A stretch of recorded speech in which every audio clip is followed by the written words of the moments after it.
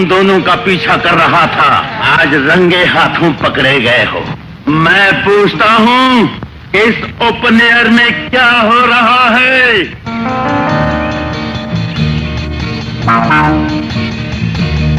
इश्क। इस कदर बेधड़क एक काले चंद और वो भी मेरे सामने। आने चलोगी तो ये जनून इश्क के अंदाज एक सेकंड में भूल जाओगी दिखाओ अपना नाम। तुम्हारा नाम क्या है? लिखिए संते साहब। मैं माँ हूँ। माँ? किसकी? मेरी और मैं बेटा हूँ। माँ बेटा बेटा बेटा माँ मैं माँ बेटा बेटा बेटा ये क्या घोरक धंधा है? मैं पूछना छेती से कहानी की है? कहानी है वे साहब। ये मेरा पुत्र है। आप ही बताइए इस दुनिया में माँ बेटे से बढ़कर कोई और इश्क है? ना तो था सुबहान अल्लाह जी सुबहान अल्लाह अपन जी की माँ हो तुसी की माँ साबित हो वैसे अपन जी by the way out of the way Sirita देखिए कि तुसी कौन? मैं? एक जर्नलिस्ट हूँ ये रहा कार्ड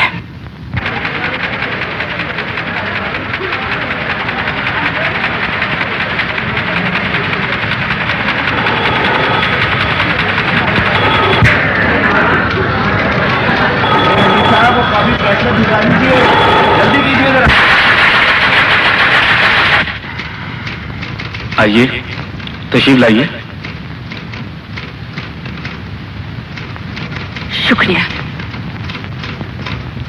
ये सब कुछ। मैंने लिखा है। और इसमें ये बहुत कुछ रह गया है अभी। अवाम के नाम हासिल किया गया इमदादी फंड और दिगर जराये से हासिल किए गए सरमाए के अदद शुमार भी अगले शुमारे में आएँगे। आप आपके कॉलम मेरे लिए मसाइल पैदा कर रहे हैं। मुसीबत बन रही है। हम किसी की नाराज़गी मोल नहीं ले सकते। आपने खुले बंदों उन हंगामों की तमाम तर ज़िम्मेदारी सिर्फ़ एक ही पार्टी पर डाल दी। उस पार्टी के आयन अदाद शुमार और पार्टी के वर्कर्स के बारे में आपने इतना सख्त लिखा कि वो सरापा एहतजाज बन गए। हंगामे तोड़ फोड़ ये सब कुछ। वकील की तरफ़ से हटाने का नोटिस, टेलीफोन पर धमकियाँ मैं मैं इन बातों की परवाह नहीं करता, लेकिन फिर भी पॉलिसी अब मेरा मतलब समझ रही है ना?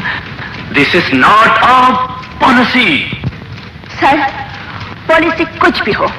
लेकिन मैं ऐसे लोगों की निशानदेही ज़रूर करूँगी, जो मुल्क की जड़ों को खोखला कर रहे हैं। यही वजह है कि हमारे यहाँ लीडरशिप ठोस बुनियादों पर नहीं, सिर्फ़ खोखले नारों से जन्म ले रही है। सियासत का यह अंदाज बहुत पुराना हो चुका है, और हमें ये अंदाज फ़िक्र बदलना होगा। मेरे सोचने का जो अंदाज है, मैं इसे नहीं बदल सकती। आप बताइए। इस अखबार में हूँ? क्या नहीं? आप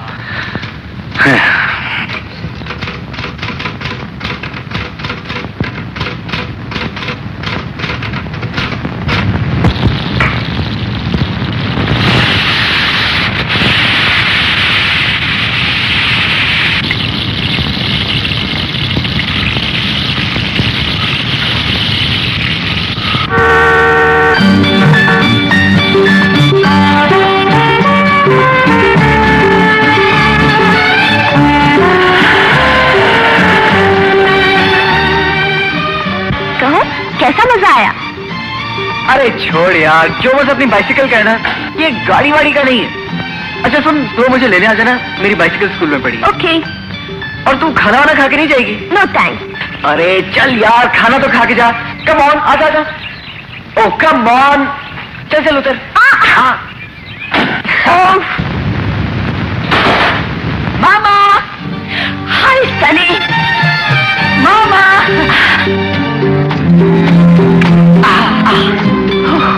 try to behave my dear अब तुम बच्चे नहीं हो।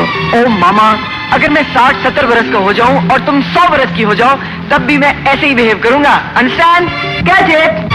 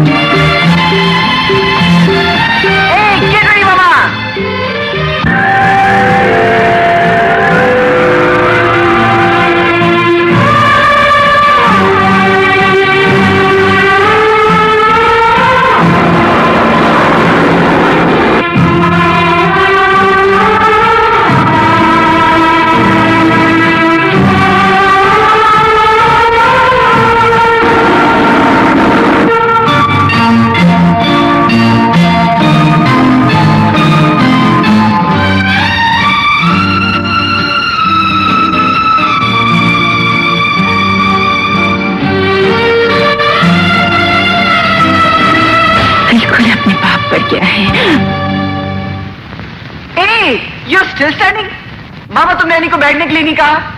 ए, जब तू सामने आता है तो किसी और तरफ़ देखने कब देता है? एनी प्लीज़ बैठो। जी थैंक यू अब मैं चलती हूँ। बाय खाना खा के जाना। नो no, थैंक्स मैं अपने पापा के साथ खाऊँगी। ए, ए, अपने पापा के साथ तो रोज ही खाना खाती हो। आज मेरी मामा के साथ तो खा लो। Come on come on have something oh मामा बड़ी जालिम किस्म की भूख लगी है। जल्दी से दो आदमी का खाना बना दो ना। ओके डार्लिंग अभी लगाती हूँ मामा कैसी है नॉट बैड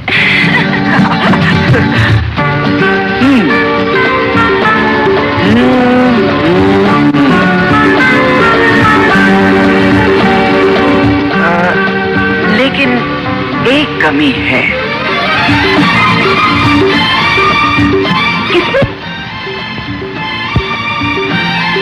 तुझ में। किस बात की? बताता हूँ। क्या मुसीबत है? बस चुप रहो। क्या कर रहे हो? एक मिनट चुप रहो। I not going to hurt you एक मिनट। क्या मुसीबत मर नहीं चाहती खाम खाम क्या कर रहे हो? एक मिनट चुप रहो। पागल। आ, मुँह भी नहीं धो के आती सुबह। हम्म,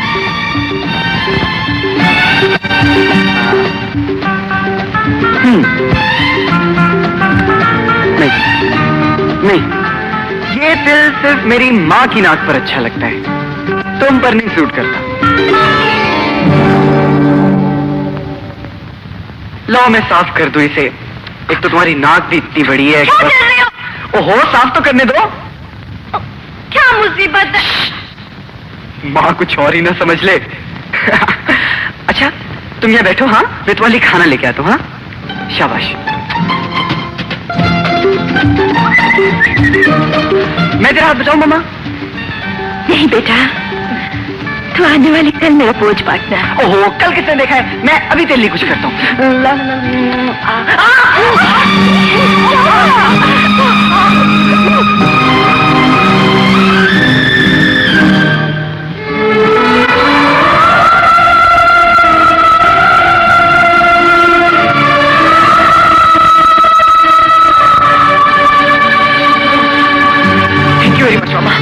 थैंक यू वेरी मच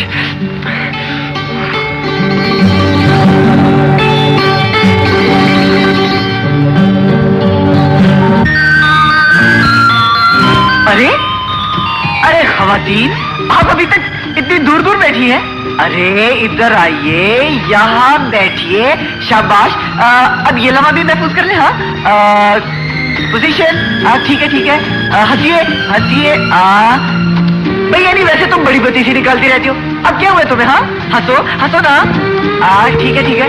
आ, आ, बस हंसो और थोड़ा सा हाँ ठीक है। अटेंशन प्लीज़ आज से 18 साल पहले इस मुबारक दिन माँ बदौलत इस दुनिया में तशरीफ़ लाए थे। और परसों ये तारीख फिर आ रही है यानी मेरी बर्थडे भूलिएगा नहीं।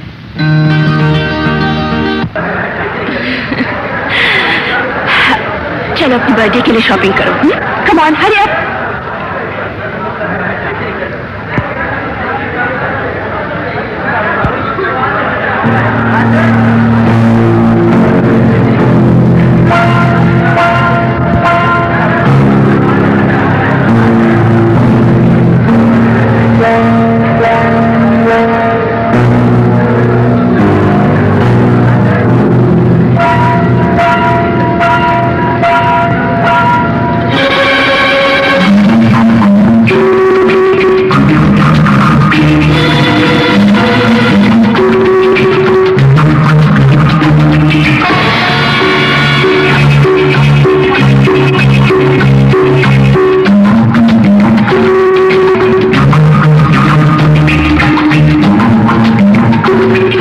जल्दी करो।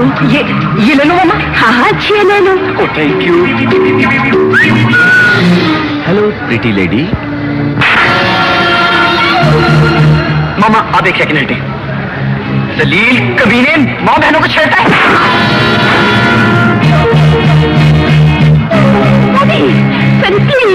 दो बाबा मुझे? मैं ऐसे ज़िंदा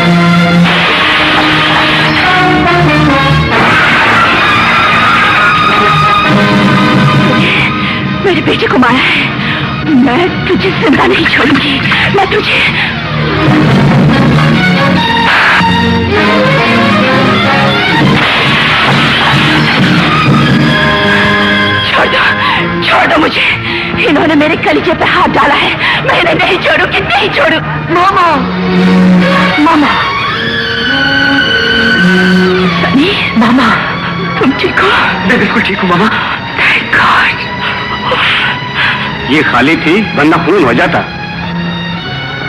आप अखबार में लिखती हैं मैं अक्सर आपके कालम पढ़ता हूँ। आप तो बहुत सुनार खातून है। सामने बेटी की ज़िंदगी खतरे में हो तो समझदार से समझदार औरत भी माँ बन जाती है इंस्पेक्टर। ये झगड़ा कैसे हुआ? उन्होंने मुझसे मज़ाक किया। बेटा कैश में आ गया। हम्म मैं सबसे निपट लूँगा बहुत पैसा है तुम्हारे माँ बाप के पास। रखो जीव में। चार दिन हमारे मेहमान रहोगे तो तुम्हें सोसाइटी में जीने का श्री कहा जाएगा। इंस्पेक्टर इन्हें माफ़ कर दीजिए। आप तो इनकी जान लेना चाहती थी। वो एक लम्हा था। और अब मैं माँ हूँ।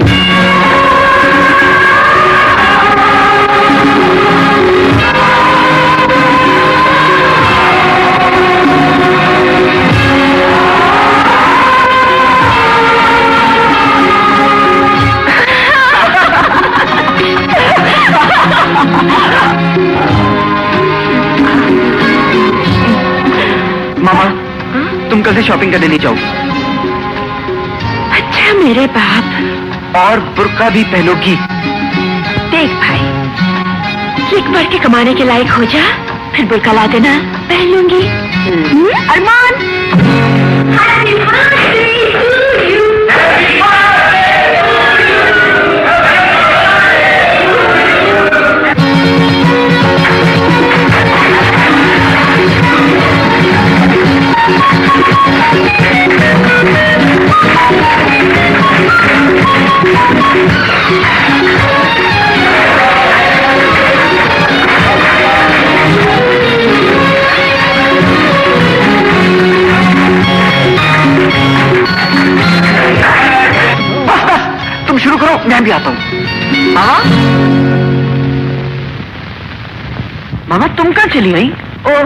मैं तुम लोगों के लिए कुछ खाने पीने का बंदोबस्त करने जा रही हूँ। मगर तुम क्यों दोस्तों को छोड़कर चले आए? जाओ एंजॉय करो। नो मामा। जहाँ तुम नहीं वहाँ कुछ भी नहीं।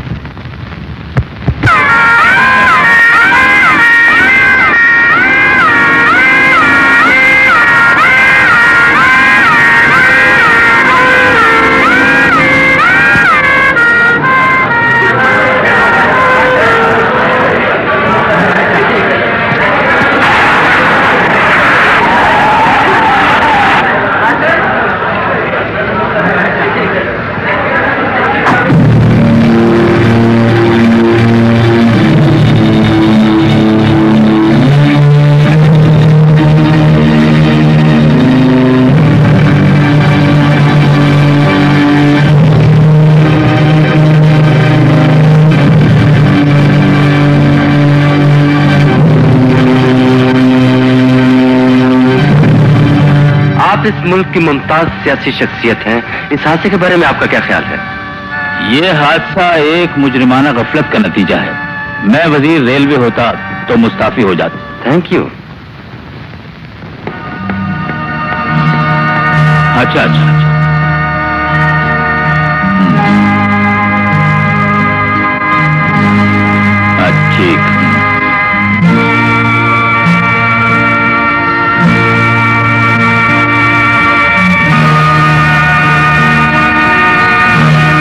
सब ठीक हो जाएगा। इस हादसे में बहुत से लोग जख्मी हुए बहुत सौ के हाथ पाँव टूट गए। इन जख्मियों के बारे में आपने क्या सोचा है? आप फ़िक्र न करें मैं हाजिर हूँ। डॉक्टर साहब आप अपना स्टॉक चेक करके बताएँ कि आपको कितने खून या दवाओं की ज़रूरत होगी। सब मैं फराहम करूँगा। बेहतर सर। खुदा ओके सर।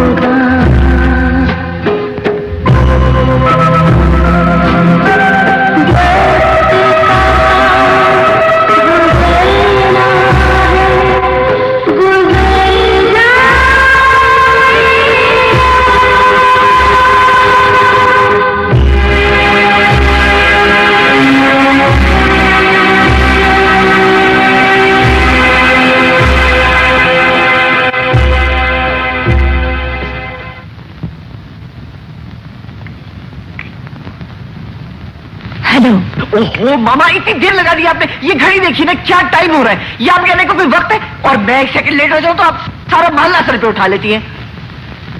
सनी आज बहुत काम था इसलिए देर हो गई। ओहो काम काम काम। आपको अपने बेटे का कोई ख्याल भी है? मुझे तेरा ख्याल नहीं? ये तूने सोचा कैसे? ओहो कैसे सोचा? बस सोच लिया ना। चलो ना मामा देर हो जाएगी देर हो जाएगी। है। ओहो तीन टिकटें खरीद के लाए अपनी पॉकेट मनी से सिनेमा देखने जाना है चलो ना मोहम्मद ये तो मेरी शक्ल क्या देख रहे हो टिकटी की बाँध कर चलो ना तैयार हो जाओ आराम ही नहीं मामा मामा तुम ऐसी बहुत अच्छी लग रही हो बहुत अच्छी लग रही हो हमारे साथ चलो ना इसी तरह प्लीज़ चलो ना मामा चलो चलो चलो देर हो जाएगी चले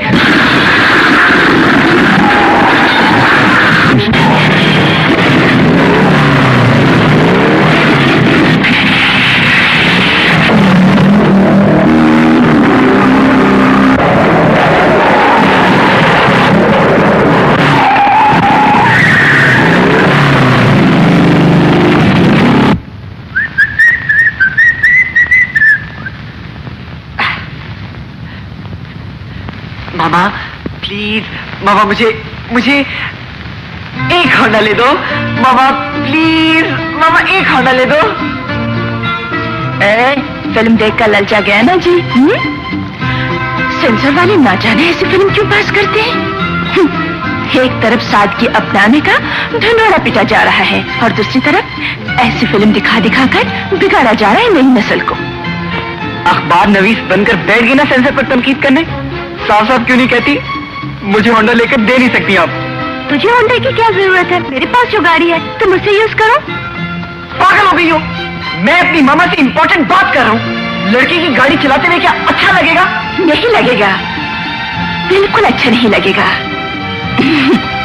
आई प्रॉमिस प्लीज़ एक हफ़्ते की मोहलत दे दो। वीकेंड पर होंडा तेरे पास होगा। प्रॉमिस मामा? प्रॉमिस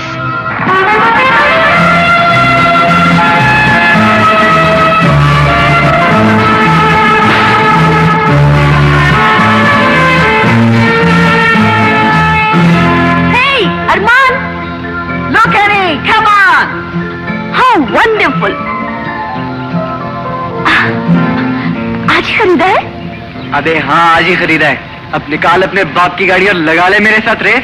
तेरे साथ क्या रेस लगानी है पार्टनर? मुझे जीत चुका। है अच्छा चल छोड़ मुझे सैर करा। अबे ध्यान से बैठना। क्या याद करेगी किस रही से पाला पड़ा है?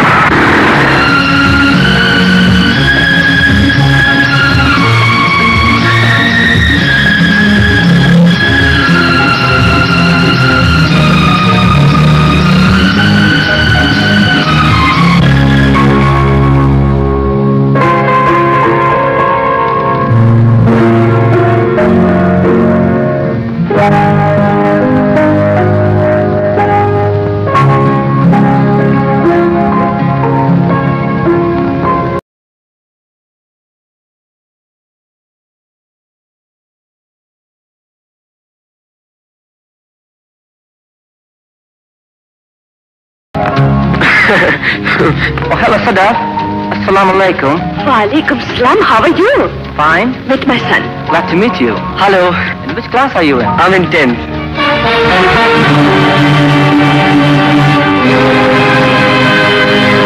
Excuse me Okay, bye.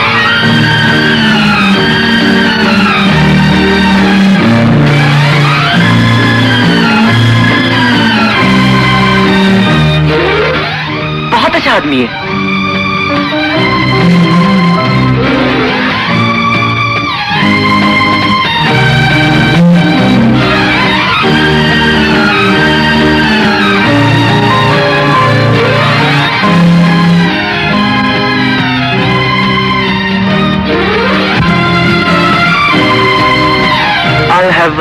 pepper steak and a fresh lime.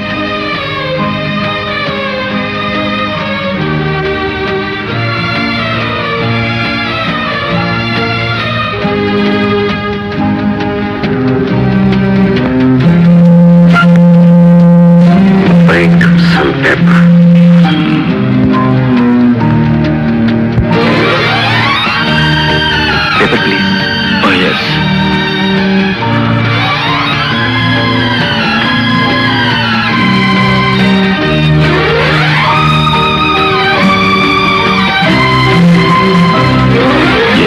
Table पर पहुँचा दो।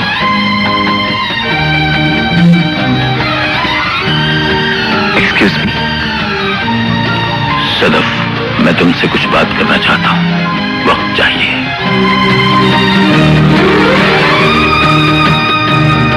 क्या बात है मामा?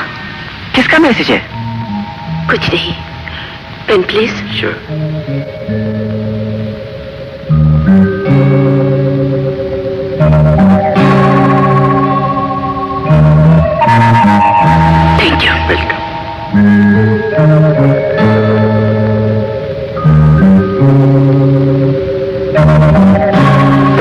सुन चुकी हूँ।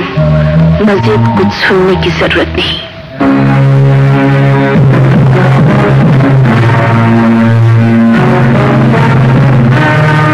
एक्सक्यूज मी मैडम प्लीज़ आपका फ़ोन आती हूँ।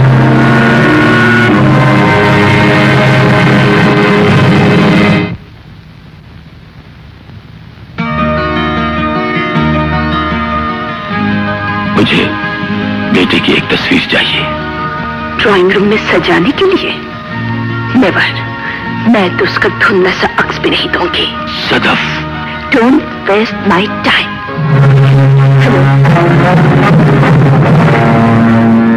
हाँ ओके मैं मैनेज कर लूँगी।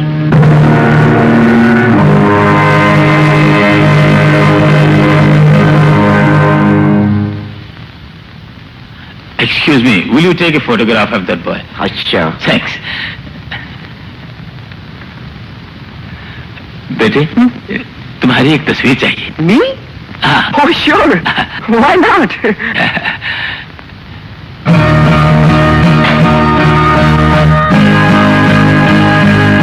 Thanks आपने मेरी इजाजत के बगैर तस्वीर कैसे ले ली Sadaf excuse me can I have the camera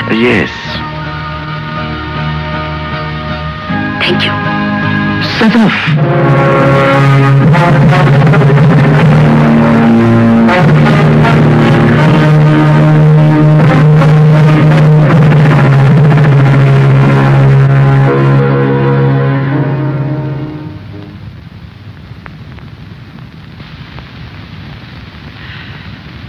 Hmm.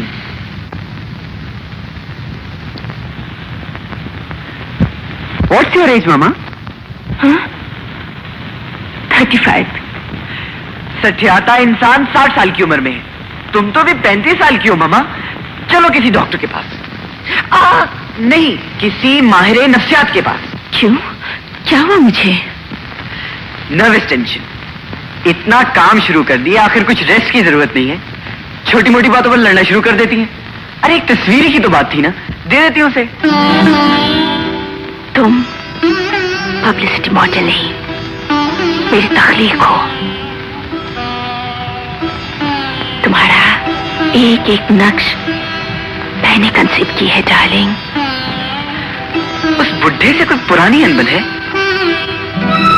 कौन है वो?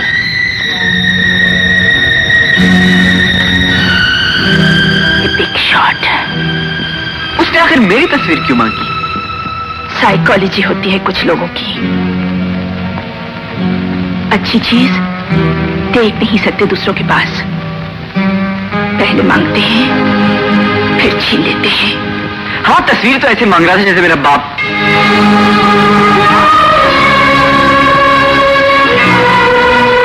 कौन था मेरा बाप, मामा? कहा गया?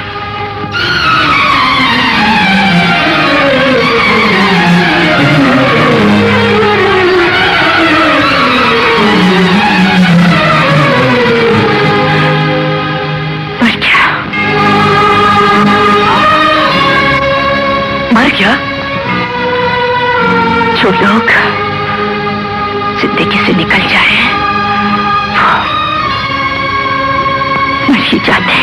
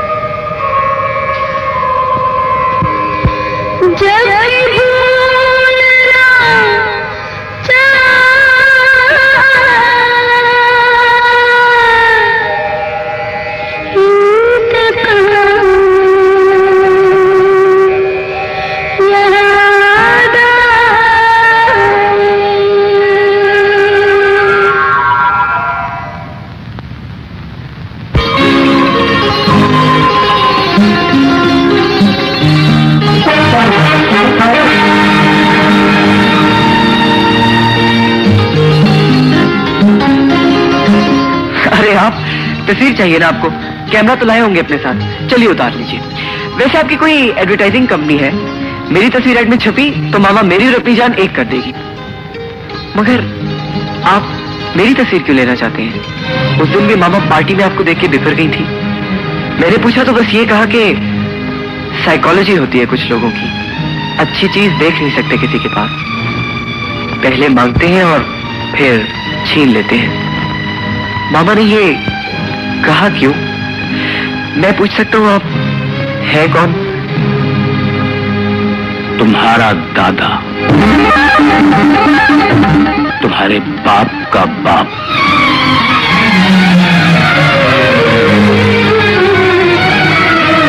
आज तुम्हें बहुत कुछ बताना है। बैठो गाड़ी में।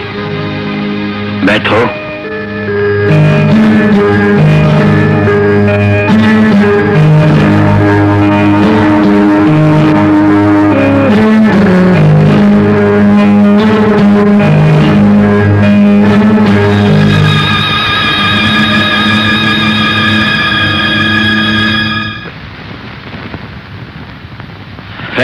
क्या देख रहे हो? ये सब कुछ तुम्हारा है। बेटे, इसे गिला न समझना। मेरी अपनी फीलिंग है कि तुम्हारी माँ एक बहुत खुद गरज औरत है। उसने तुमसे उस घर का पता छुपाए रखा, जिसके दरवाजे हमेशा तुम्हारे लिए खुले रहे। बेटे, तुम बहुत छोटे हो। नहीं जानते कि ये छोटी छोटी रगें जो दिल को खून पहुंचाती हैं अगर कट जाएँ, तो दिल ज़िंदा नहीं रहता। हम इतने बरस खुदा जाने कैसे ज़िंदा रहे। बेटे दरअसल तुमने आँख खोली तो सिर्फ़ अपनी माँ को देखा। तुम नहीं जानते कि और रिश्ते क्या होते हैं। तुम्हारी एक तस्वीर मांगी सो उससे भी इनकार कर दिया गया। मैं तुम्हें तुम्हारी माँ के खिलाफ भड़काना नहीं चाहता। सिर्फ़ इतना कहना चाहता हूँ, जब अपनी माँ से मिलो तो उससे पूछना, तुम्हारा बाप ज़िंदा था तो उसने तुमसे छुपाया क्यों? हेलो? हेलो सेब मैं अरमान की मामा बोल रही हूँ। क्या? नहीं है? तुम्हारे पास भी नहीं आया? तो फिर कहाँ चला गया?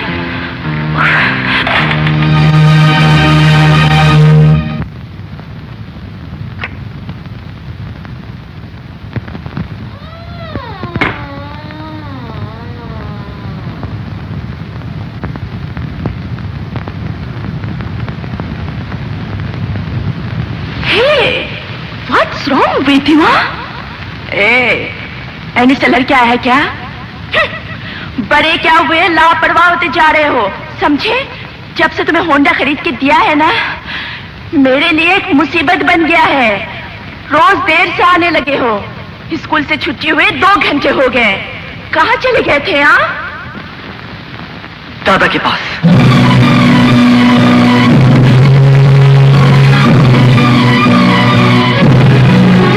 दादा मिला तो उसने कहा होगा, मैं सेल्फिश हूँ, खुद गर्ज हूँ।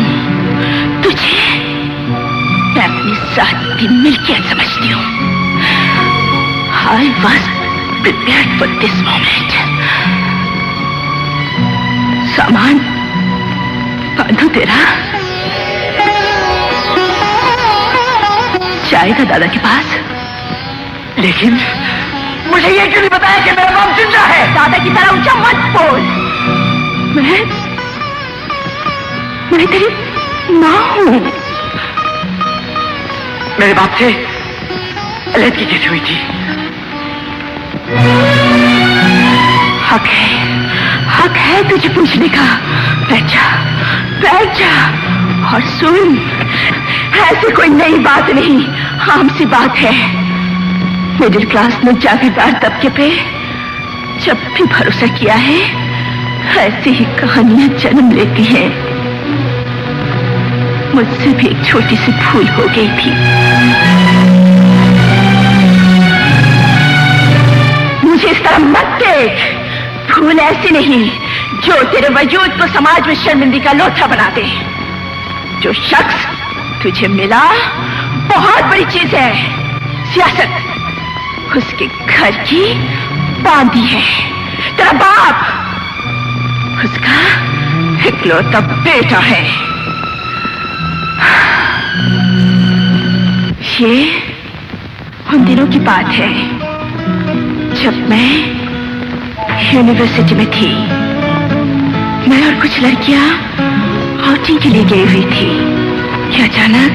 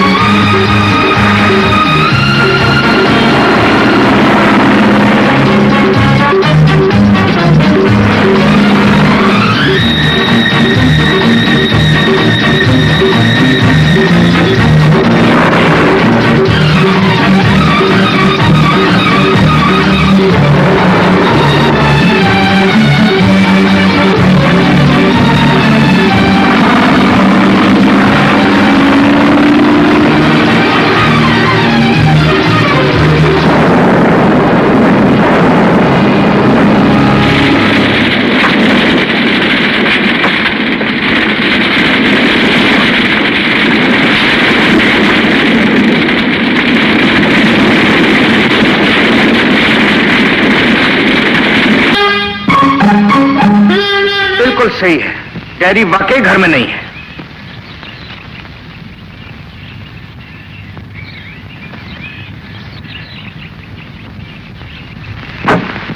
कभी ये गाड़ी हमारे नीचे हुआ करती थी। आजकल हम गाड़ी के नीचे होते हैं। ये रिटायरमेंट मांगती है हम देते नहीं है। बाय द वे आपकी तारीफ़? डैडी डैडी ये ये अली है। कौन सा वाला? ओ अच्छा अच्छा अच्छा वो वाला जिसके बारे में तुमने ज़िक्र किया था। सलाम अलैकुम सलाम अलैकुम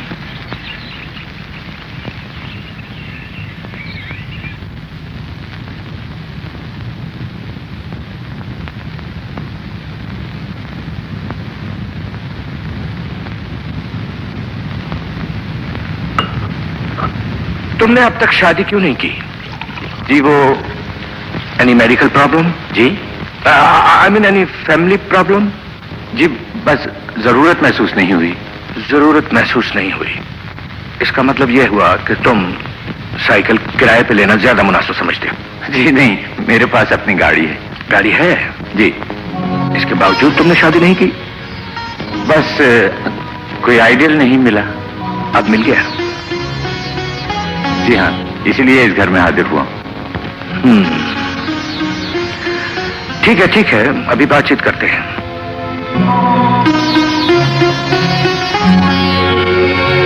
जिस घर में बेरी होती है, वहाँ पत्थर अक्सर आते रहते हैं। पर ये तो कुछ लंबा सा पत्थर है, इसमें अकल की कमी भी हो सकती है।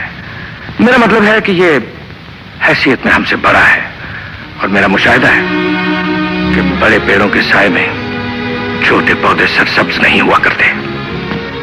आपका मुशाहिदा गलत भी हो सकता है। मैंने सदफ को अपनी ज़िंदगी से ज़्यादा चाहा। सदफ को मैंने भी ज़िंदगी की तरह चाहा है। अगर सदफ की यही ख्वाहिश है तो मेरी दुआ है, खुदा तुम्हें हमेशा खुश रखे।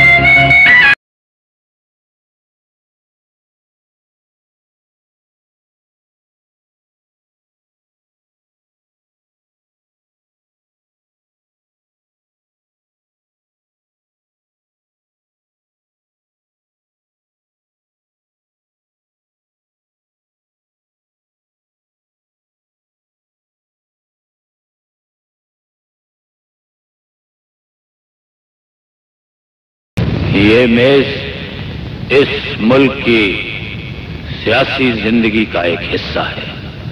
यहाँ वज़ीर, सफीर बड़े बड़े सियासतदान बैठे और जब खाना खाकर उठे तो मुल्क की सियासी तारीख का नक्शा ही बदल गया।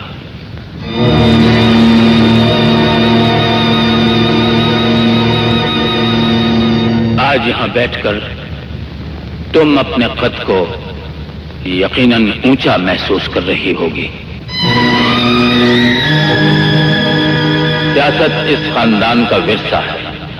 हम उठते, बैठते, खाते, पीते, सोते, जागते सियासत करते हैं। सियासत एक पुलिस रात है। एक अच्छे सियासतदान को सियासत के रास्ते पर चलते हुए दिल पर पाँव रखकर चलना पड़ता है। पब्लिक अपने लीडर को देवता समझती है। अगर उसके दामन पर जरा सा धब्बा देखे तो उसे अपने वोट से दी हुई कुर्सी से खींचकर नीचे फेंक देती है। सर, कुछ पार्टी वर्कर आपसे मिलने के लिए आए।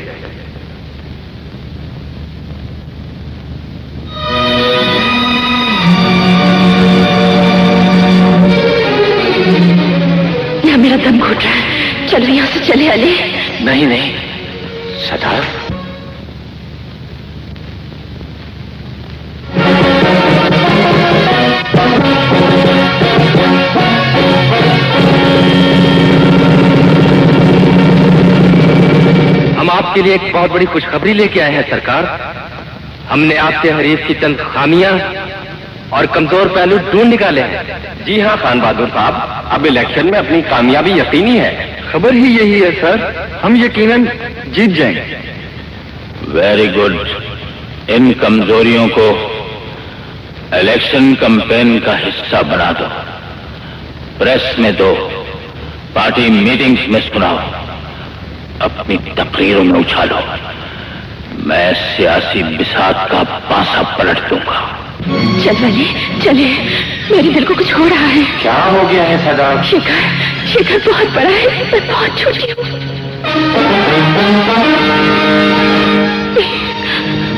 चले।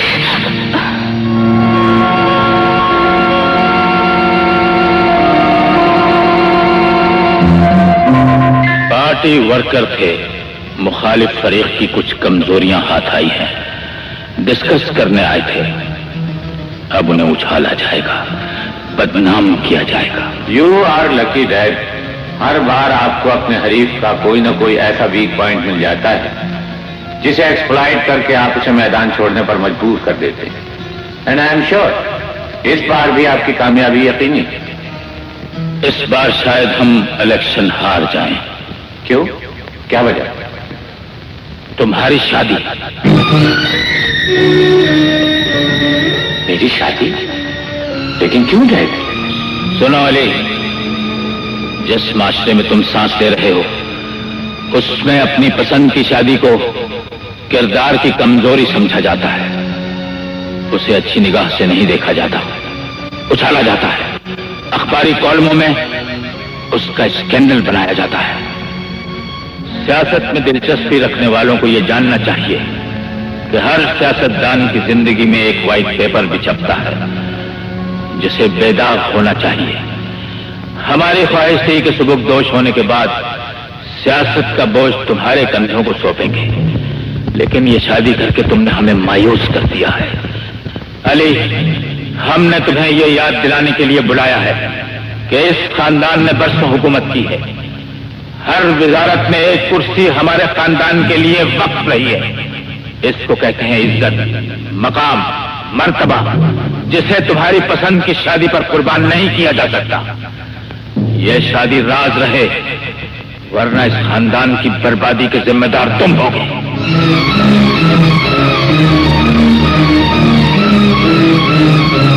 चलो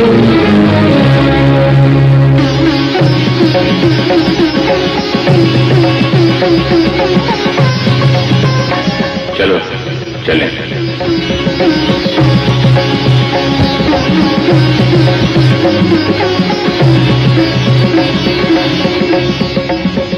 मैं कहती हूँ ये शादी डिक्लेयर करो। कर दूँगा जान। अभी करनी पड़ेगी। इसी वक्त देखो इलेक्शन होने वाले हैं। डैड की मजबूरी मुझे कबूल तुमने किया है या तुम्हारे डैड ने डिक्लेयर करने का हौसला नहीं है तो मैं शादी क्यों की थी? इसलिए कि मुझे तुम्हारी ज़रूरत थी। तुम जैसे रईस जादू को ज़रूरत एक दाश्ता की भी होती है। लेकिन मैं तुम्हारी जाया बीवी हूँ। शादी डिक्लेयर करो। कब इनकार किया है मैंने? सिर्फ़ इलेक्शन हो जाने। इलेक्शन के बाद तो तुम्हें बहुत कुछ मिल जाएगा। इस रास्ते में मैं माँ बन गई तो पूछने वालों को क्या बताऊँगी? ये किसकी सियासी मजबूरी है? पहले मुझसे बात करो। बात ही तो कर रहा हूँ। नहीं तुम झगड़ा कर रहे हो। पहले झगड़े का फैसला करो। बोलो हाँ या ना? बात तो करने दो मुझे। Hello. Yes sir.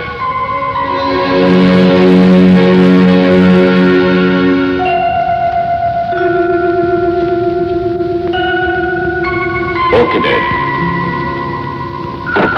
क्या कहा डैड ने? डैड ने कागजात मेरे नाम से दाखिल कर दिए। अब इलेक्शन मैं लड़ूँगा। और मैं? तुम्हें इंतज़ार करना पड़ेगा। अली एक औरत की इससे बड़ी तोहिन नहीं हो सकती। एक औरत से शादी की जाए और उनकी बगैर उसे कोने में डाल दिया जाए। अगर तुम मुझे इस तरह छोड़कर चले गए तो हमारे रास्ते मुख्तलिफ़ हो जाएँगे।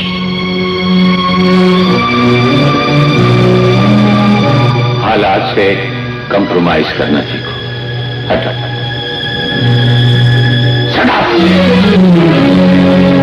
बिस्किट लोग इस माशरे में ज़िंदा नहीं रह सकते।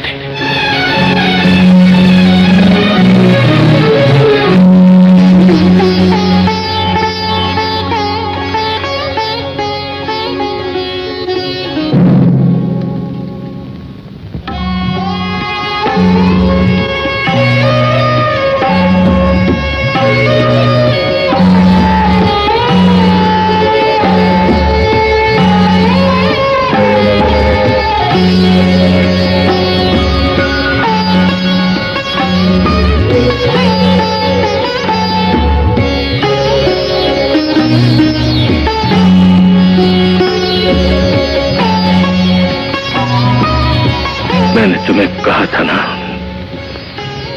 बड़े पेड़ों के साय में छोटे पौधे सरसब्ज नहीं हुआ करते। उसे अपनी कैरियर की ज़रूरत है। बीवी की नहीं वो सियासतदान बनना चाहता है। सदफ क्या सियासतदानों की बीवियाँ नहीं होती? मैं अपने वजूद को रेजा रेजा होते देख सकता हूँ। लेकिन तुम्हारी आँखों में आँसू नहीं देख सकता। मैं अभी जाकर उसका गिरबान पकड़ूँगा।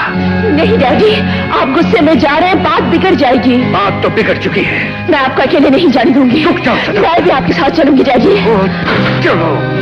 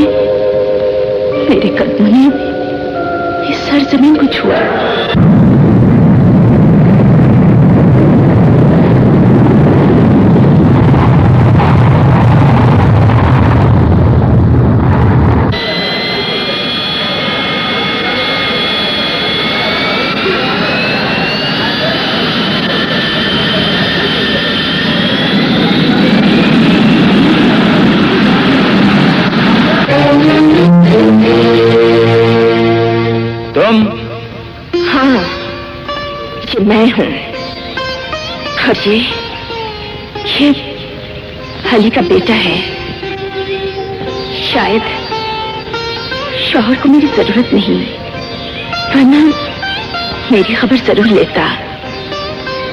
लेकिन लोग इसके बाप का नाम पूछते हैं। मैं इस घर से इसके बाप का नाम लेने आई हूँ। वो इस मुल्क में नहीं है। कहाँ है वो? तुम उसकी नज़रों में मर चुकी हो। उसे भूल जाओ। तुम अभी जवान हो। तलाक ले लो। इस सदी तक आते आते दुनिया का बहुत कुछ बदला। बदली नहीं तो मर्द की सोच नहीं बदली। वो आज भी औरत से सब कुछ छीन कर उसे तलाक के एक टुकड़े के सिवा कुछ नहीं दे सकता। ये मशवरा मैं तुम्हें इसलिए दे रहा हूँ कि दूसरी शादी करने में तुम्हें आसानी रहेगी। आपका बेटा शादी करके बच्चा दे गया दूसरा एक और दे जाएगा। अगर इसी का नाम शादी है तो मेरे लिए एक ही काफ़ी है। जो चला गया। उसे जाने दो। मैं उसकी याद में इंतज़ार के दिए नहीं जलाऊँगी अपना बाप, अपना बेटा, अपना सब कुछ। ज़िंदगी के दुखों में साथ मिलकर रोने वाला इसी को समझोगे।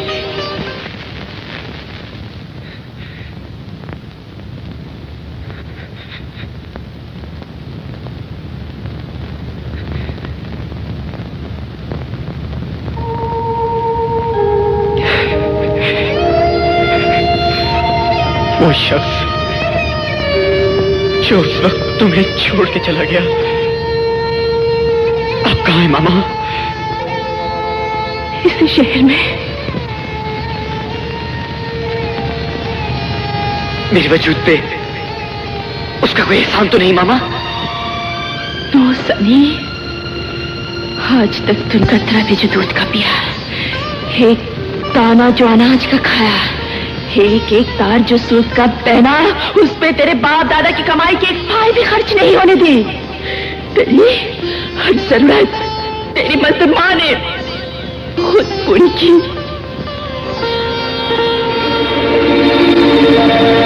मुझे उसका पता बता दो बाबा।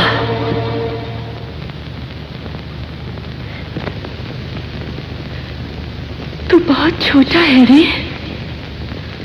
और वो बहुत बड़ा है। तेरे हाथ उस तक नहीं पहुँच सकते। वो इस सुबह का गवर्नर है।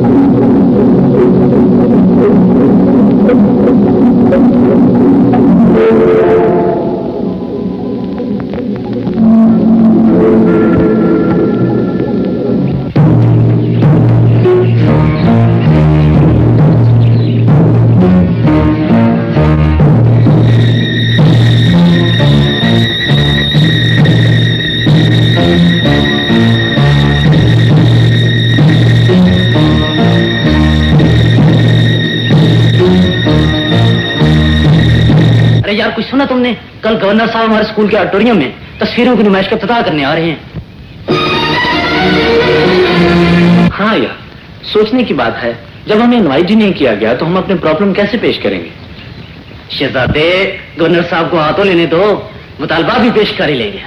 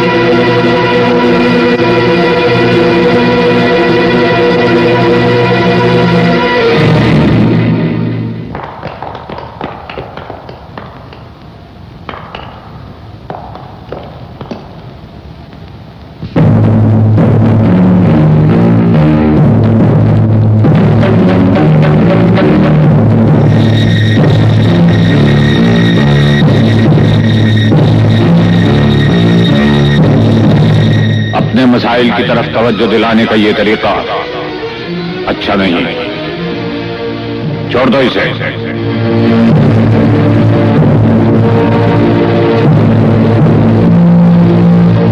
इतनी बड़ी शख्सियत के सामने ये बदतमीजी मैं तुम्हें स्कूल से एक्सपेल करता हूँ। मैं तेरा नाम आसमान की बुलंदी पे लिखा देख रही थी और तू एक ही छत के नाम का बन गया। अपनी मुस्तकबिल, मेरी मेहनत, तुझे किसी चीज़ का ख्याल नहीं आया? क्या ज़रूरत की धमाका करने की? जब वो सामने आया मामा तो तेरे दुख मेरी आँखों में तैरने लगे। वो तू कैसे तो ना थे जो किसी औरत की ज़िंदगी में ना आए हो मैं मैं भूल गई थी। मैंने उसे माफ़ कर दिया था।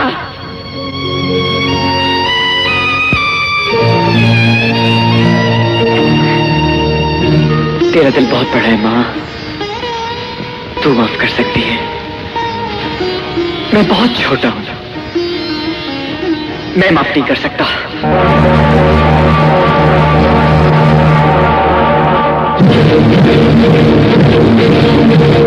क्या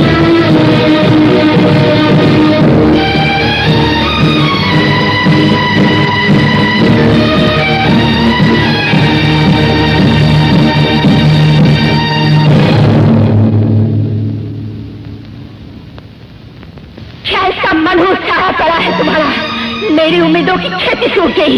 इस स्कूल से मेरे बेटे का नाम कट गया। सुन चुका हो।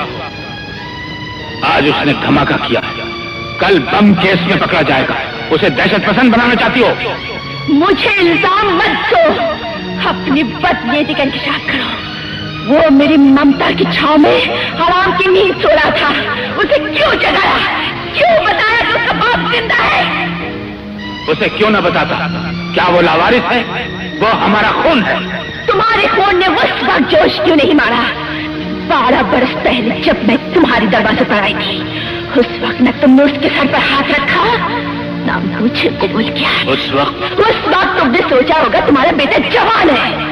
शादी करके कई बच्चे और पैदा कर लेगा लेकिन ऐसा ना हो सका। तुमने देखा कभी कभी कुदरत यूँ भी इंतकाम लेती है। जिसे ठुकराया जाता है मोहताज भी उसी का होना पड़ता है। आज मेरे बेटे का कद मेरी उमंगों मेरी उम्मीदों मेरी आरजुओं के बराबर आया तो तुम उसे फांसने के लिए जान छाड़ना चाहते हो। बकवास बंद करो। मैं उसकी तकदीर बनाना चाहता हूँ। कुफर मत बोलो। इंसान की तकदीर से खुदा बनाता है।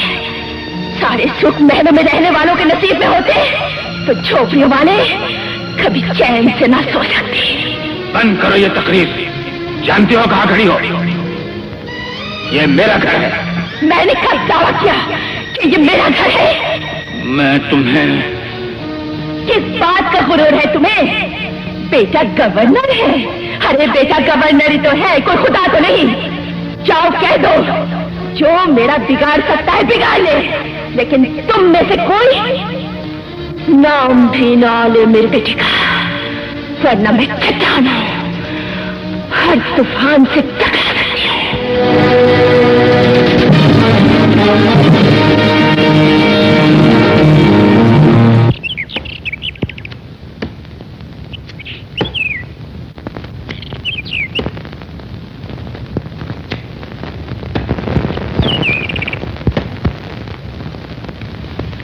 किन में गुम हो। कोई बात करो। हर वक्त का मज़ाक अच्छा नहीं।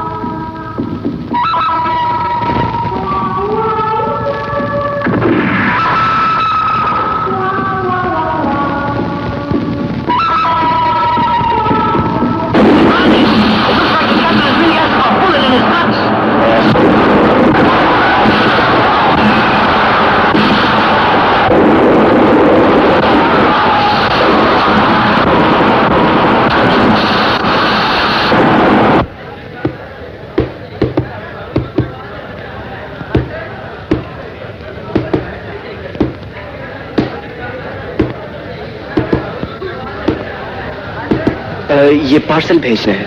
किसके नाम? गवर्नर साहब के नाम। क्या है इसमें? एक तोहफा है उनके लिए।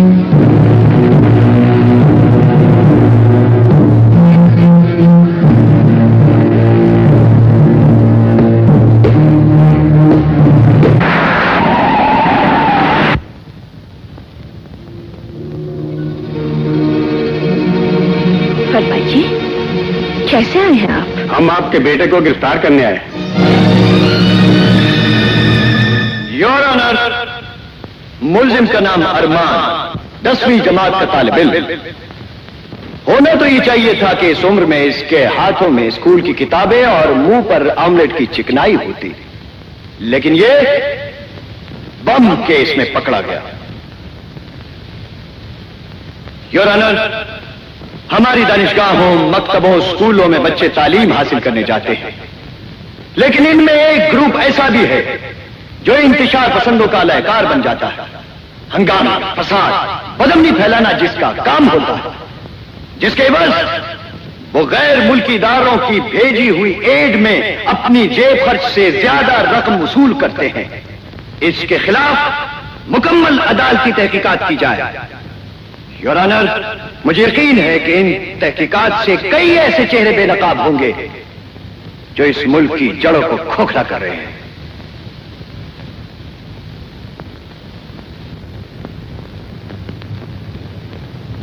That's all, Your Honor.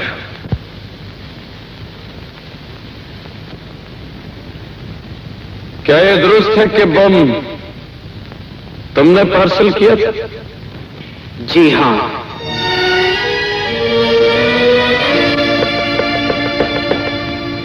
आप नोट्स लेते रहिए।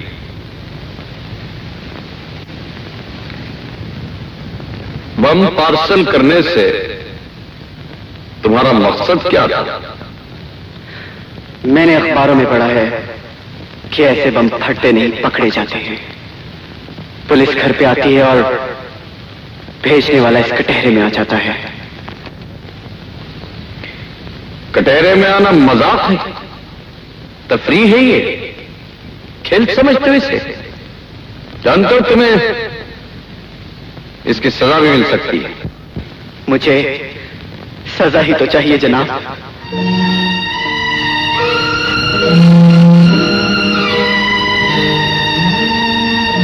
आखिर क्यों?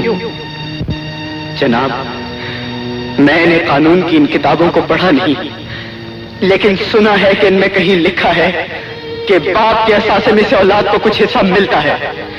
मगर मेरे बाप ने मेरी माँ को दुखों के सिवा कुछ नहीं दिया। और मेरी माँ ने मुझ पर उन दुखों का साया भी नहीं पड़ने दिया।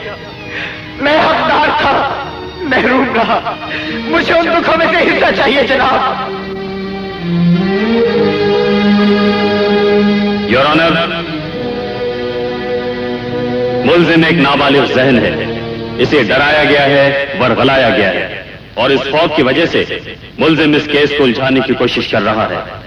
योर ऑनर मेरे फाजिल दोस्त ने जिस बम का ज़िक्र किया है, असला के माहरीन ने उस बम के बारे में रिपोर्ट ये दी है कि यह बम किसी फैक्ट्री का बना हुआ नहीं, बल्कि खुद साख्ता बम है। और इस बम की हैसियत गली में खेलने वाले बच्चों के पटाखों से ज़्यादा नहीं। योर ऑनर पटाखा चलने से भी धमाका होता है अफरा तफरी फैलती है लोगों का सुकून बर्बाद होता है। इसलिए मुलजिम को सजा मिलनी चाहिए।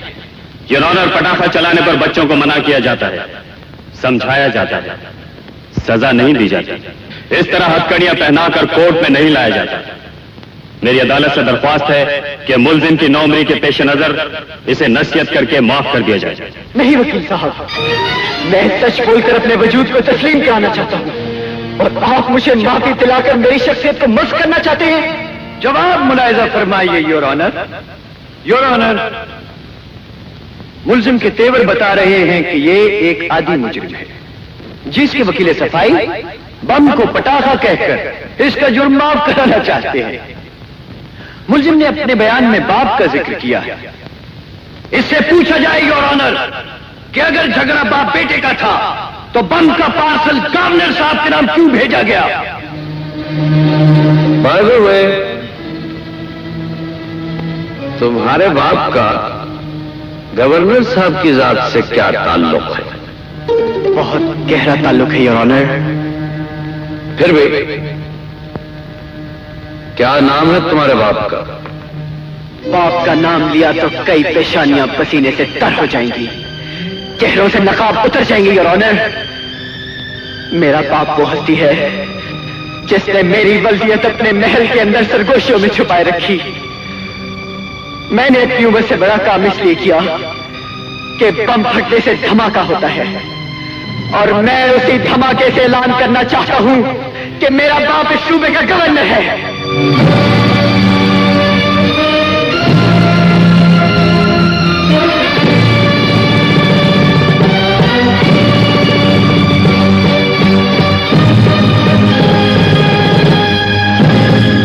आपका बेटा है, सूबे के गोलन का बेटा है?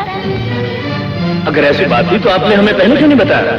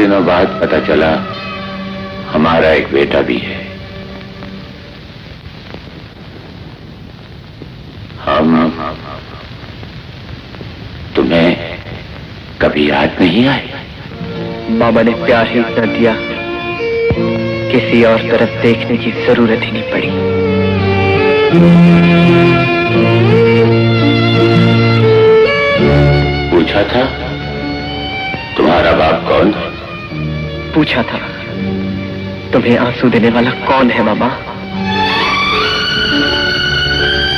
उसने रो के जवाब दिया जो लोग ज़िंदगी से निकल जाए वो मर जाते हैं। जिद्दी है हर धर्म है गलती उसकी थी। नहीं ऐसा मत कहिए। वो मेरी मामा है।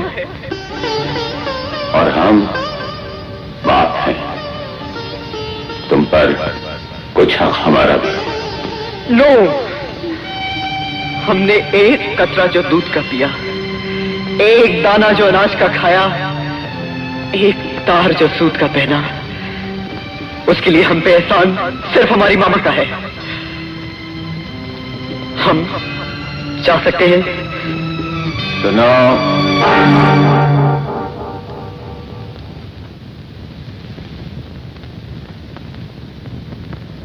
हमें तुमसे बहुत कुछ कहना है।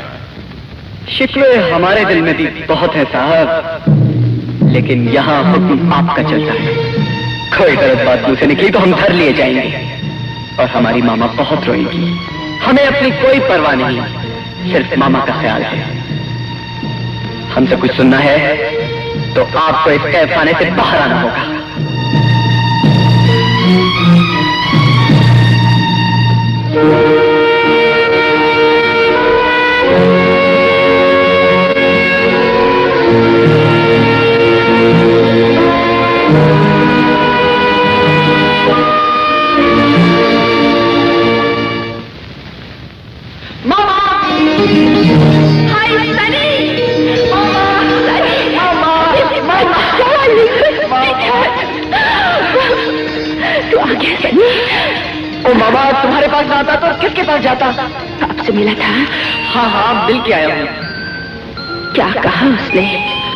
अरे वही सियासी लहजे में पुरानी बात। मैं तुम्हें याद तो नहीं आता था। क्या कहा तूने? अरे मैंने कह दिया माँ ने प्यार ही इतना दिया कि बाप को भी याद ही नहीं आया। और क्या पूछा? और तुम्हारा पूछा? क्या पूछा था? पूछा था कि तुम्हारी माँ कैसी है? मैंने कह दिया कि माँ तुमसे नफरत करती है। ठीक कहा ना मामा मैंने? देख बेटा, वो आखिर तेरा बाप है। सूरत देखकर चेहरे से जाए चाहे ना क्या हो। लेकिन खून ने जोश ज़रूर मारा होगा। वो वो तुझे अपने पास रखने के लिए बहुत जतन करेगा। पर मुझे मुझे छोड़कर मत जाओ।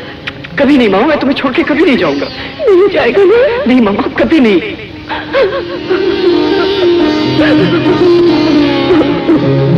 वट माय फुट तुम फ़िक्र ना करो खबर दबा दी जाएगी। डैड खबर दबाने से हकीकत का वजूद खत्म किया जा सकता है।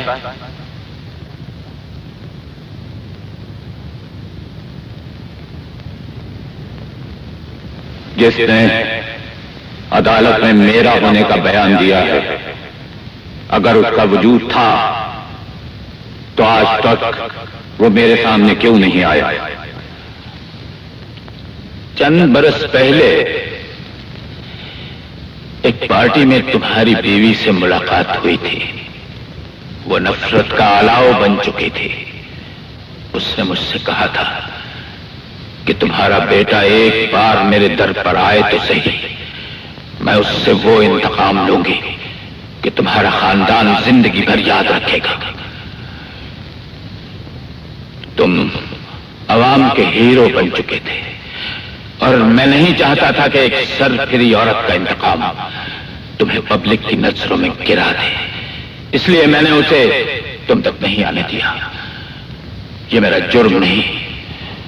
मसलहत का तकाजा था। डैड वो सरफरी थी। आप मसलहत का शिकार थे। लेकिन मेरा बेटा तो मासूम था। आज सोलह बरस के बाद तुमने भूली हुई दास्तान को दोहराया। उसे अपना बेटा कहा। तो पब्लिक तुम्हारे मुतालिक क्या सोचेगी? मेरा रिकॉर्ड मेरा किरदार आवाम के सामने है। मैं आपकी पब्लिक को गवाह बनाकर यह कह सकूँगा कि अदालत में मुझे बाप कहने वाला मेरे अपने तन का हिस्सा है। जवानी के कौलते और सुलगते हुए दिन मैंने अपने आवाम की नज़र कर दी है। लेकिन अब अपने बुढ़ापे का सर जिस मैं अपने बेटे पर निछावर करना चाहता हूँ। मुकदमा वापस लिया जाए और मेरे बेटे को मेरे सामने बुलाया जाए।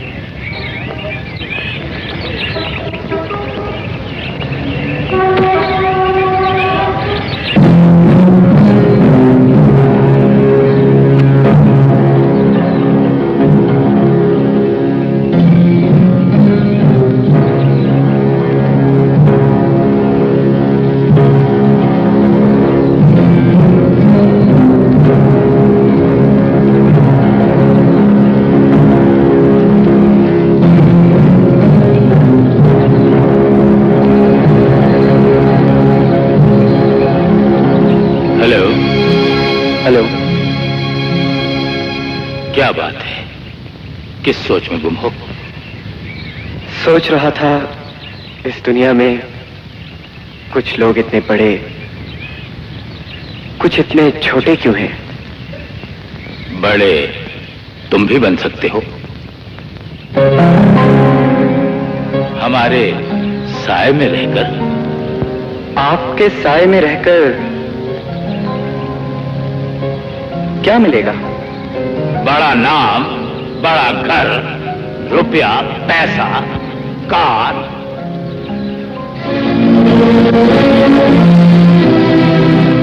बड़े हो के आपने कितनी छोटी बात कह दी।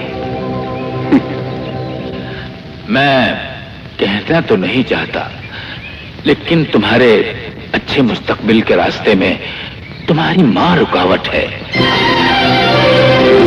अदालत में सिर्फ़ इतना कह दो कि तुम अपनी माँ की बजाय हमारे साथ रहोगे। ना?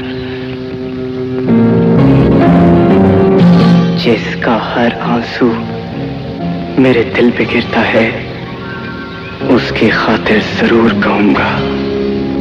बोलो, कहोगे? कहोगे ना? है?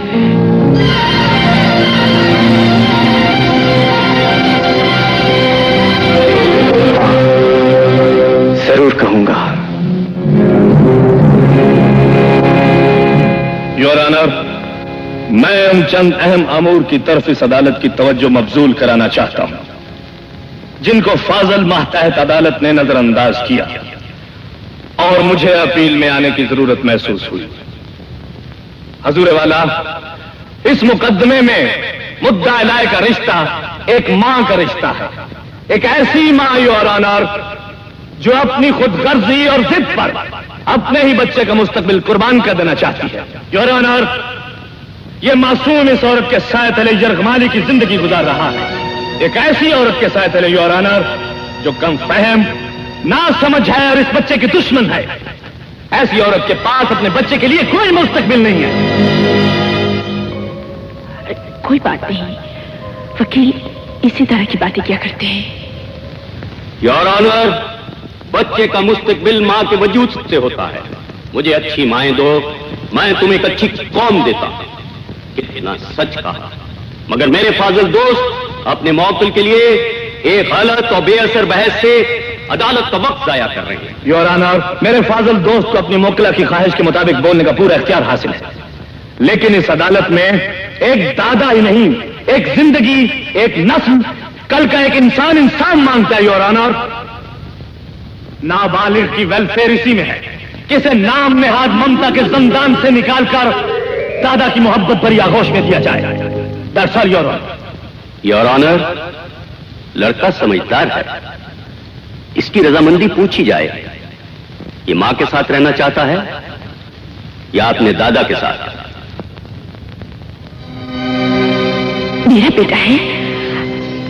फैसला मेरे हक में देगा।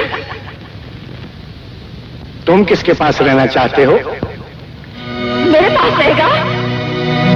बैठ जाइए बैठ जाइए। बच्चे के जहन को मुतासर न कीजिए।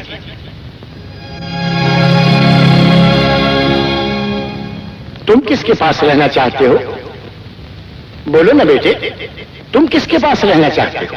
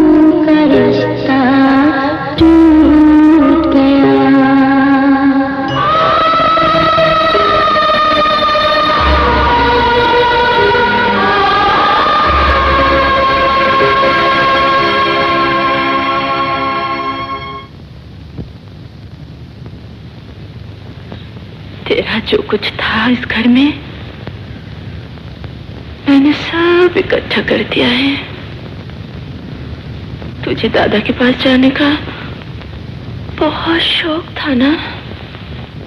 अच्छा किया तूने।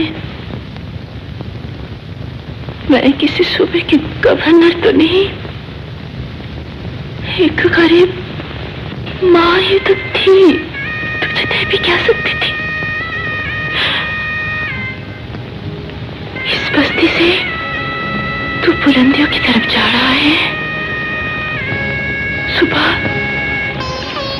जल्दी उठ जाना।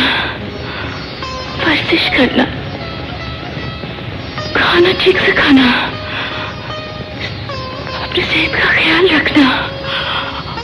और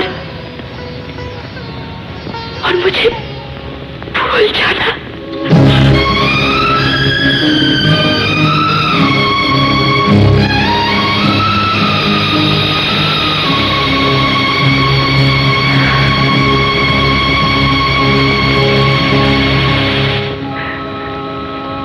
क्या जानो मामा? मैं तुम्हारे दुखों का हिसाब तो लेने जा रहा हूँ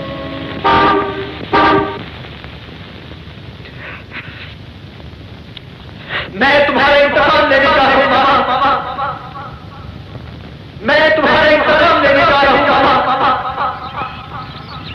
मैं तुम्हारा इंतकाम लेने जा रहा हूँ मामा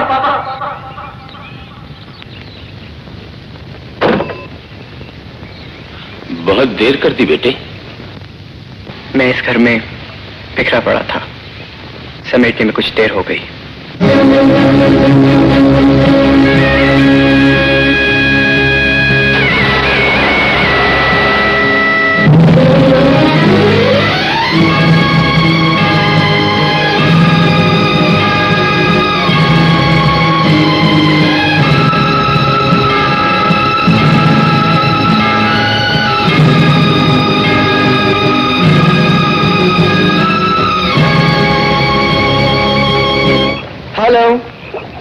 उनके पिए बोल रहे हैं। मैं उनका बेटा बोल रहा हूँ। जी कई रोज से फ़ोन कर रहा हूँ। नहीं मिल सकते? आखिर ऐसे भी क्या मसरूफियत है? ग्रैंडपा यस माई सन मैंने पापा के पिए को फ़ोन किया। जवाब मिला नहीं मिल सकते। आप अभी और इसी पापा को फ़ोन कीजिए कहिए कि मैं उनसे मिलना चाहता हूँ। बेटा वो मसरूफ होंगे। आखिर मैं भी उनकी मसरूफियत का एक हिस्सा हूँ। बेटे कुछ समझने की कोशिश करो। तुम्हारा बाप मामूली आदमी नहीं जिसे जब चाहो मिल लो। उसकी मसरूफियत का पहले से प्रोग्राम बनता है। बेटे के लिए वक्त निकालना मुश्किल था तो गवर्नर ही रहते बाप क्यों बने? बेटा थोड़ा सब्र से काम लो। मैंने बहुत सब्र किया है अब और सब्र नहीं कर सकता।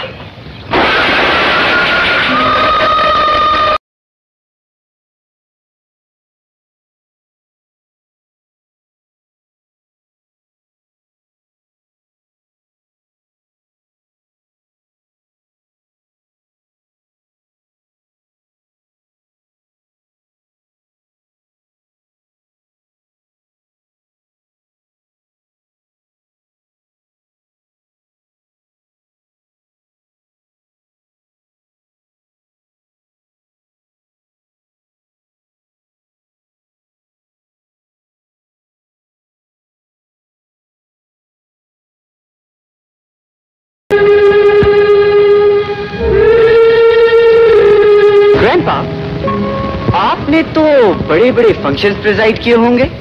ऑफ़ कोर्स और लोगों ने आपको ओपनिंग सेरेमनीज में भी बुलाया होगा। ओ बेटा ये सब कुछ तो करना पड़ता है। हम्म। अवाम को वक्त देना पड़ता है। उनकी ख्वाहिशात का एहतराम करना पड़ता है। राइट तो सर आज मैं आपके मुबारक हाथों से एक ओपनिंग सेरेमनी कराना चाहता हूँ। रियली लेकिन कहा मेरे बेडरूम में अच्छा ज़रूर तो चलिए ज़रूर ज़रूर आइए आइए आइए तशरीफ़ लाइए आइए प्लीज़ अ, यहाँ जनाबे वाला अब हम निकाब कुशाई की रस्म अदा करेंगे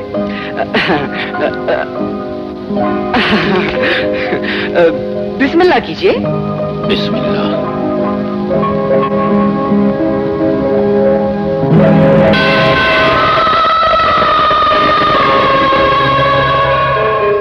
ये तस्वीर यहाँ क्यों लाई गई? अरे दादा जान ये मेरी मामा की तस्वीर है। इस घर में कमी थी जो मैंने पूरी कर दी। यहाँ अच्छी लगेगी। सच तो ये है दादा जान आँख खुलती है तो जब तक इसको दे देख ना लूँ लगता है सुबह नहीं हुई। ये तस्वीर इस घर में नहीं रहेगी। इस घर में आपकी तस्वीर हो सकती है। मेरे बाप की तस्वीर हो सकती है। तो मेरी मामा की क्यों नहीं? हमने तुम्हें ओन किया है। इसे नहीं। कैसे सियासतदान हैं आप? मुझे तो अपनाते हैं। लेकिन जिसकी वजह से मैं हूँ उसे नहीं। मेरा फैसला भी सुन लीजिए। अगर इस घर में ये तस्वीर नहीं रहेगी तो मैं भी नहीं रहूँगा। लिसन आई सरेंडर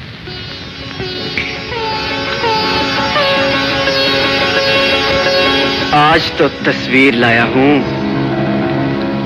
अभी तो उसे इस घर में लाना है, जिसे यहाँ से निकाल दिया गया था। आगे आगे देखिए होता है क्या। दरवाज़ा खोलो! दरवाज़ा खोलो! अरे मैं कहता हूँ दरवाज़ा खोलो! दरवाज़ा खोलो!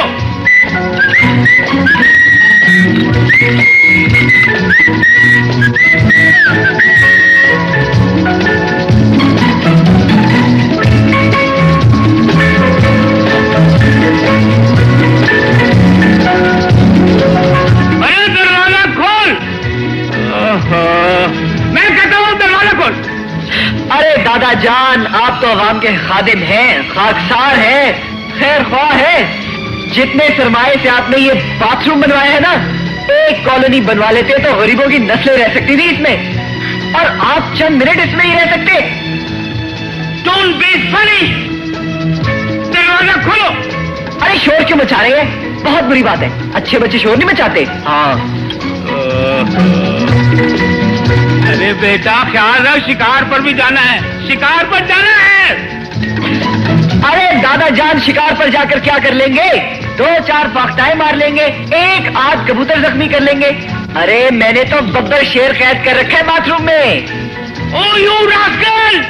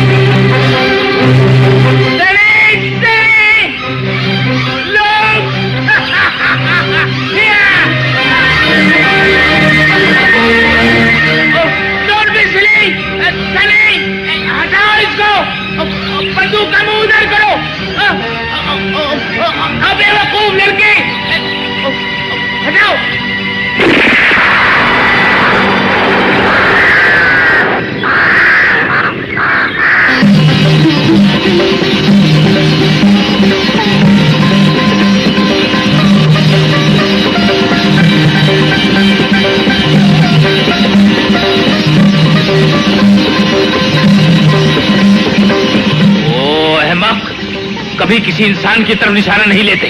अगर ये बंदूक चल जाती फिर मैं पूछता हूँ फिर क्या होता? तुम नफ्सियाती मरीज़ हो। लाओ ये बंदूक मुझे दो। आपकी तशखीस गलत है दादा जान मेरा मर्ज नफ्सियाती नहीं जज्बाती है। हम्म, ठीक हो जाओगे।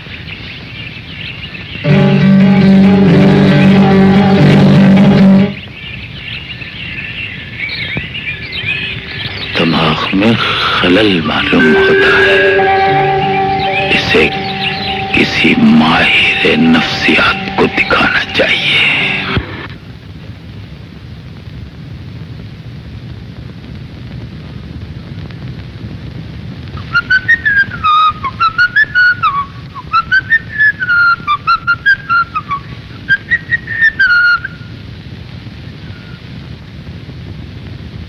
आप मेरे साथ आइए। नवाज़ साहब। लड़का तो बिल्कुल नॉर्मल है। लेकिन ये अजीबो गरीब हरकतें क्यों कर रहा है? मेरे ख्याल में इसके जहन पे किसी पुरानी चोट का असर है। चोट लगने से या तो जहन सो जाता है या फिर जाग उठता है। इसका जहन जाग उठा है। लेकिन फ़िक्र न कीजिए don't you worry is absolutely normal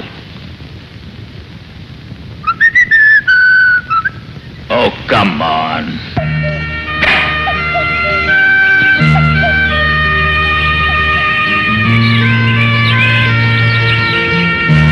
sports में दिलचस्पी रखते हो? सभी खेल खेल लेता हूँ। मुस्तकबिल में क्या करने का इरादा है? वक्त मिला तो बहुत कुछ करूँगा। एक बार तुमने कहा था कि शिकवे तुम्हारे दिल में भी बहुत हैं। जी हाँ। कहने के लिए जब भी आप तक आना चाहा रास्ते में चमकदार संगीने आ गई। आज कहो हम सुनेंगे।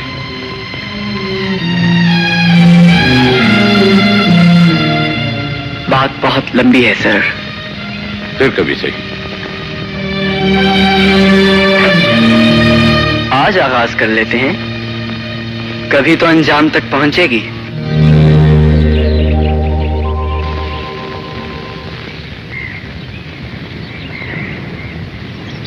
बात अपनी माँ की करना चाहते हो? ज़िंदगी का मकसद ही एक है। तुमने बात एक तरफा सुनी होगी। मेरी वफादारियाँ भी एक तरफा हैं।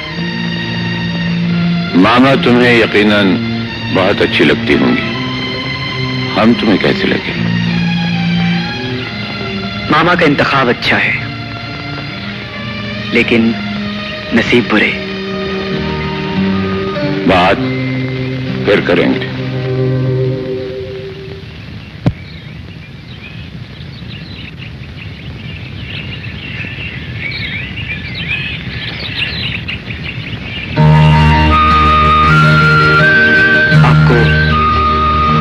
से देखना शुरू करूँ तो आपका सर आसमान को छूता हुआ महसूस होता है। लेकिन आप अंदर से बहुत कमज़ोर हैं। बहुत कमज़ोर। ये क्या लिखे हुए भाई? ये भी गलत है? हम्म।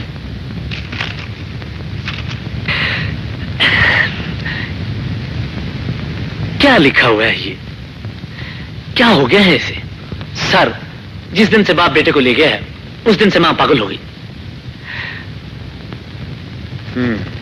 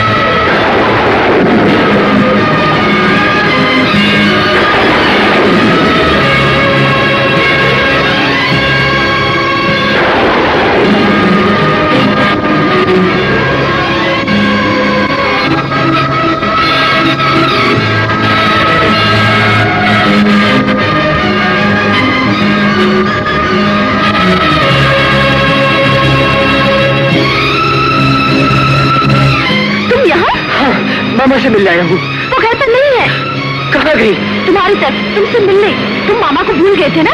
लेकिन वो तुमको नहीं भूली। मैं अपनी मामा को कैसे भूल सकता हूँ? नहीं भूल सकता मैं मामा को। लेकिन मामा को वहाँ नहीं जाना चाहिए था। नहीं जाना चाहिए था। मैं उन्हें वहीं मिल लूँगा। अरमान! छोड़ दो मुझे।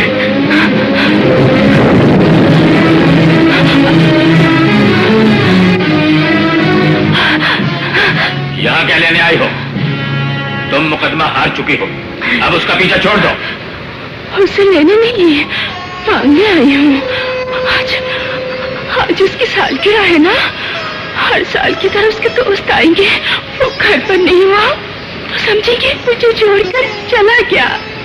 उसे थोड़ी देर के लिए भेज देना। मैं मैं वादा करती हूँ किसी बहाने मुझे वापस कर दूँगी। वो यहाँ नहीं। कहा क्या कब आएगा? मैं नहीं जानता। चले जाओ यहाँ। से इसे धक्के देकर बाहर निकाल दो। किसी को बुलाने की ज़रूरत नहीं। मैं, खुद चली जाती हूँ। ममता की तरह कोई न करो मैं चली जाती हूँ। खुद उसको ढूंढ लूँगी खुद उसको।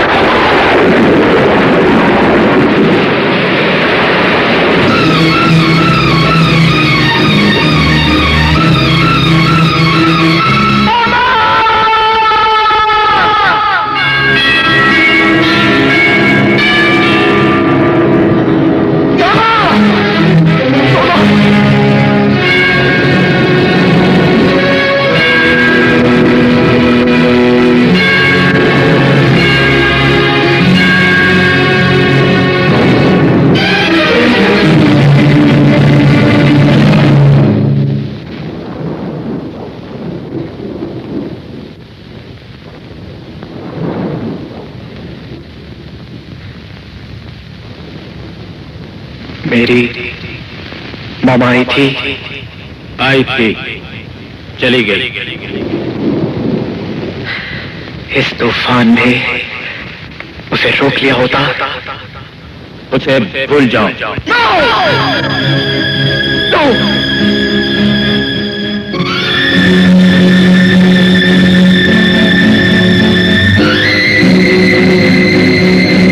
इस घर की आसाइशें अगर तुम्हारे हिस्से में आई हैं, तो वो तुम्हारी माँ की वजह से नहीं, हमारे बेटे के नाते से।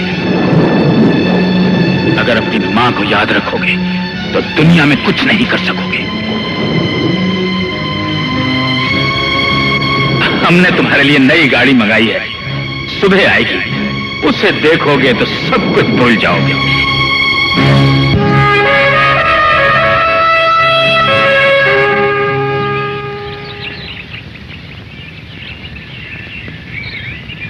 कैसी है तुम्हारे लिए।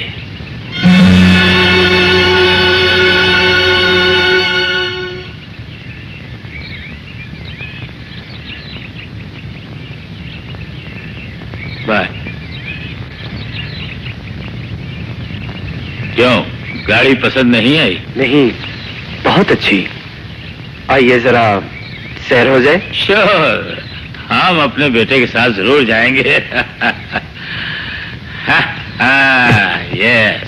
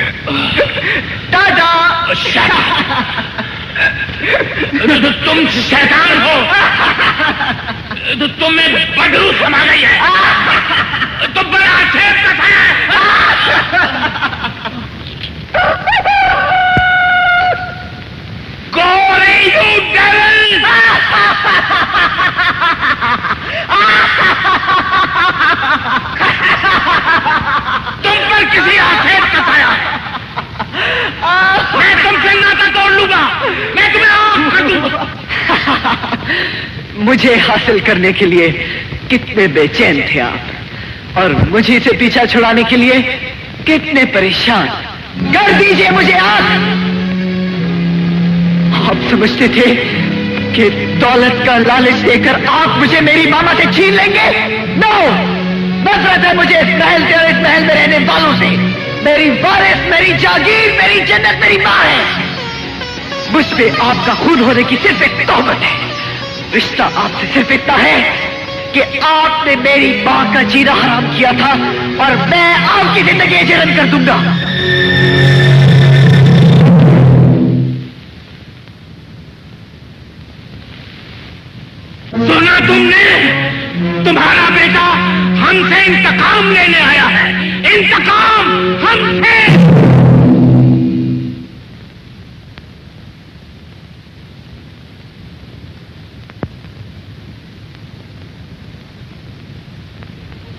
क्या ये सच है? झूठ। आपके अब्बा हजूर जैसे सियासतदान बोलते हैं। हम जैसे नादान नहीं। अरमान!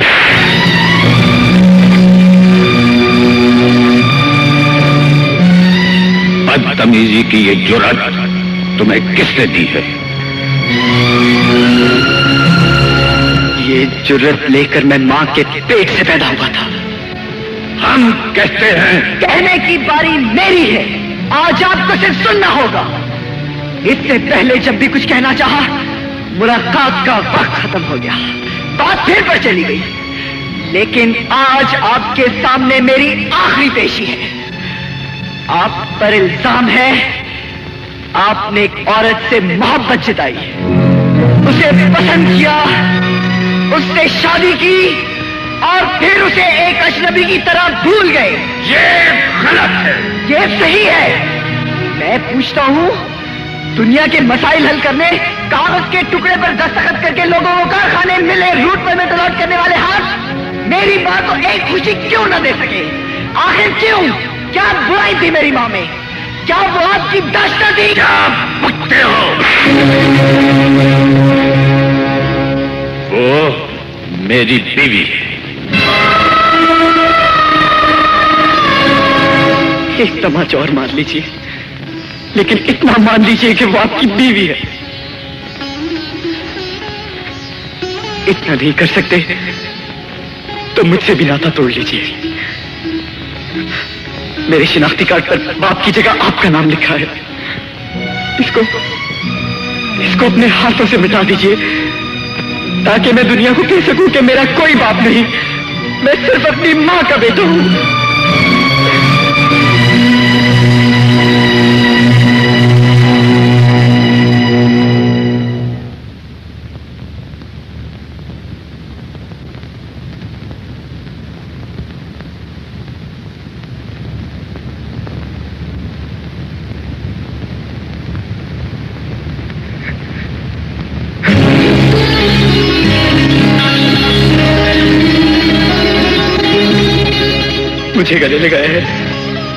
मामा के पास चली डेली और चल के सिर्फ़ सॉरी कह दीजिए। मेरी बिखरी हुई मामा फिर से जी उठेगी।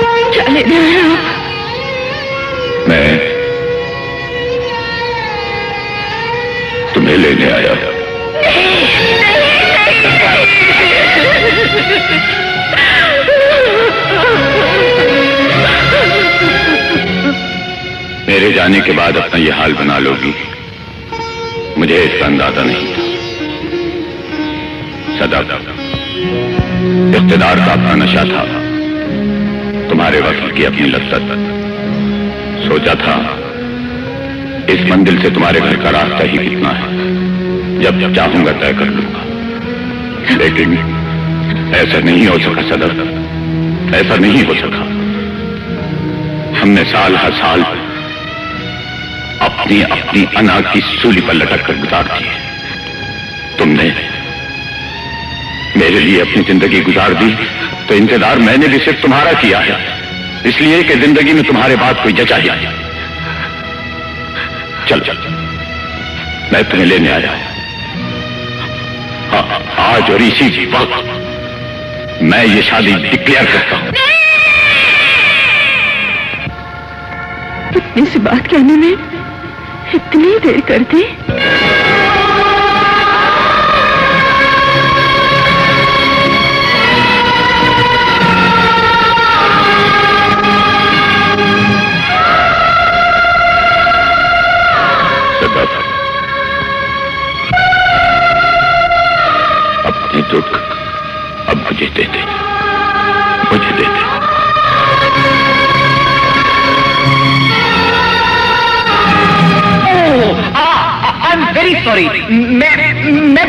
मौके पर आ गया हूँ।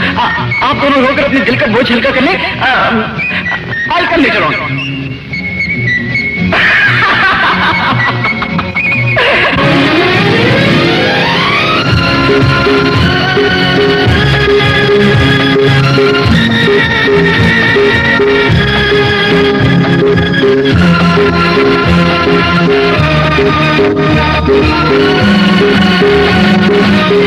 Thank you.